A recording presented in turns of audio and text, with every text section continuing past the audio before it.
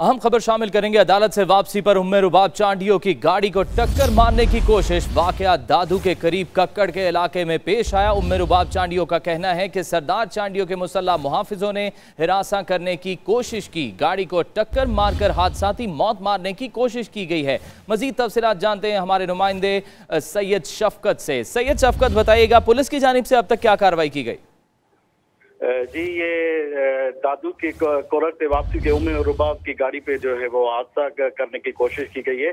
और उमे रुबाब का कहना है कि जो है सरदारों की जानब से मुझे मुसलसल जो है वो हेरासमेंट कर रहे हैं। और, इस पे जो है पुलिस का कहना है कि पुलिस ने कहा है कि जो है वो गाड़ी क्रॉस कर रही थी कि रास्ते में गाड़ी खड़ी थी, उसमें उसका टक्कर लग गया।